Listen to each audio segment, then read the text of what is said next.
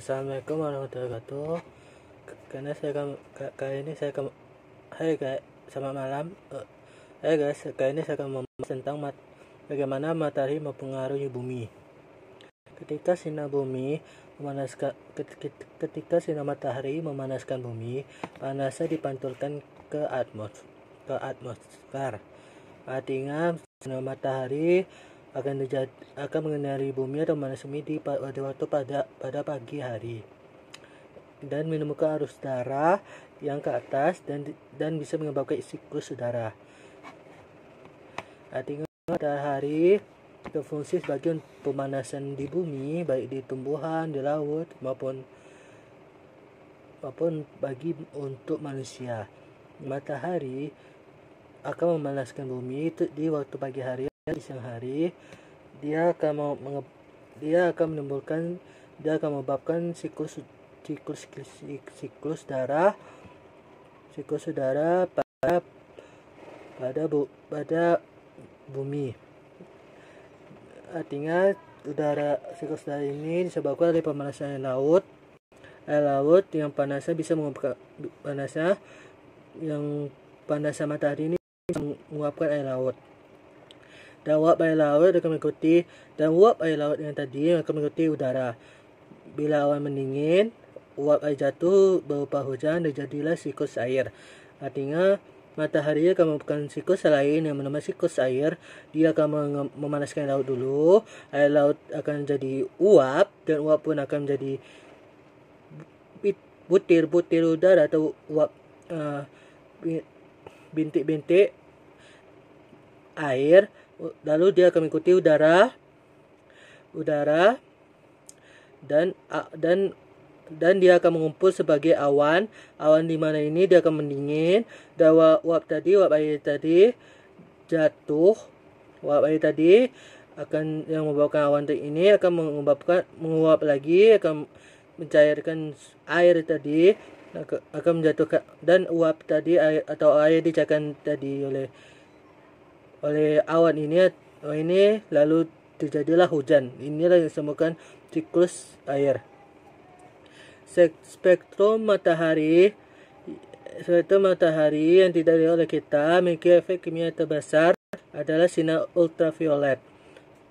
Sinar ultraviolet ini adalah sebuah spektrum yang sangat tinggi sangat diperlukan oleh sinar matahari namun kita tidak bisa melihat tetapi dia ada di matahari merupakan efek kimia yang terbesar.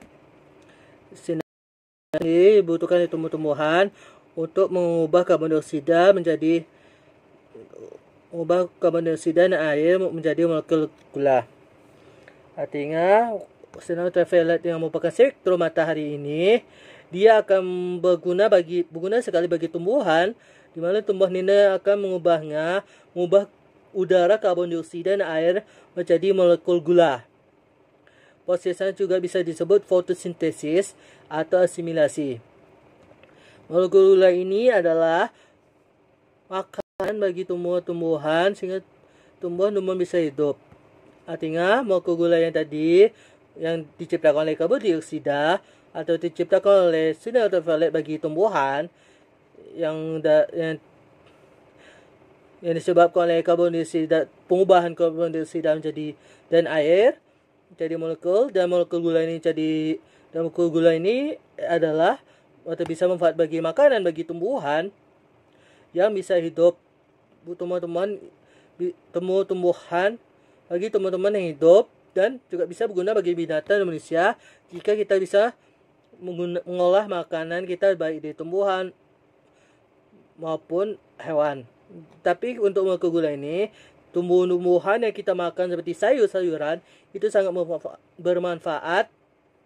Bermanfaat dan dan juga sangat meng, meng, sangat juga berguna bagi tubuh manusia. Dan manusia ini tidak tidak dapat bisa mengolah makanan sendiri tetapi dia juga memerlukan tumbuh-tumbuhan. Artinya mata manusia tumbuhan matahari itu sangat ber, berhubungan satu sama lain. Dari penjelasan dua di atas bahwa tanpa, tanpa matahari siklus dan siklus tidak bisa terjadi. Tanpa matahari, tumbuhan tidak bisa menjadi rantai makanan. Paling dasar tidak dapat mengolah makanannya. Tidak berarti dia tidak menyediakan makanan, namun dia tidak terjadi rantai makanan yang bisa diperlukan oleh binatang dan manusia. Artinya matahari ini berguna sekali bagi kita, bagi kehidupan manusia. Jangan kita protes atau aduh sinar senangan begitu mengilokan dan sangat panas kita tidak boleh protes maka kita semua pelajar matahari ini karena matahari ini juga berguna bagi kita sendiri. Juga bisa mempengaruhi kesehatan juga. Sinar ultraviolet juga bisa membunuh kuman penyakit dan membakar protein vitamin D.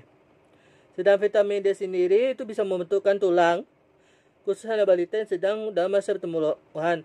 Kekurangan vitamin D bisa menyebabkan penyakit rakitis, tetapi terlalu banyak terkena sinar ultraviolet juga bahaya sebab dapat menyebabkan kanker kulit.